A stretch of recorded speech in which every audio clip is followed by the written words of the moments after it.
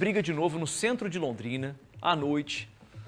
Pessoal que sai à noite no centro da cidade, assim, encontra é, muita gente em situação de rua, tá? E daqui a pouco, inclusive, vou trazer a suspeita da Secretaria de Saúde de um possível envenenamento a morador em situação de rua em Londrina, tá? Vou trazer para você daqui a pouco os detalhes na coletiva com o secretário Felipe Machado. O cara foi agredido com tijoladas, pertinho do calçadão, pertinho da catedral, ali no Rio de Janeiro. Ele contou para a polícia que teve uma discussão é, com um conhecido, o cara que aparecia estar embriagado seria morador de rua.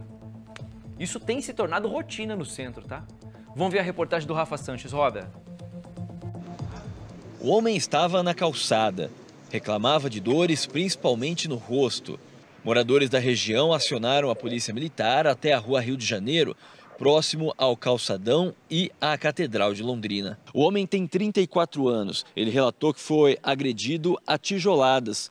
O homem que supostamente o agrediu seria um amigo, mas ele não deu mais informações para a polícia militar. Os policiais militares chegaram, de fato, constataram é, que esse indivíduo estava com, com ferimento na região da face. Em conversa com ele, passou poucas informações é, de como teria havido a situação, esse ferimento, quem havia efetuado, há quanto tempo ocorreu. Ele não, não quis relatar, mas em razão do ferimento foi acionado o SEAT para prestar esse, esse socorro médico é, e encaminhamento para a unidade de saúde. Ele confessou aos socorristas do SEAT que havia ingerido bebida alcoólica.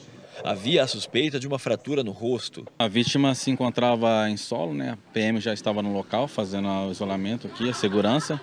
É, parece que ele tomou uma tijolada de algum colega, tava, ingeriu bebida alcoólica. E aí está com uma lesão aqui em face na parte esquerda aqui do, da cabeça. Ao que tudo indica, é só essa lesão, só essa tijolada que levou no rosto mesmo?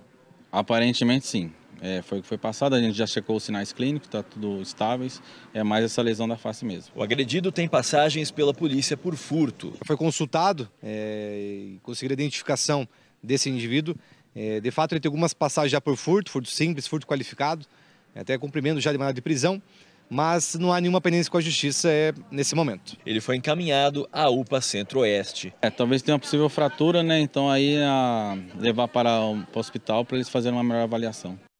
É, brigas envolvendo moradores em situação de rua acontecem direto, tá?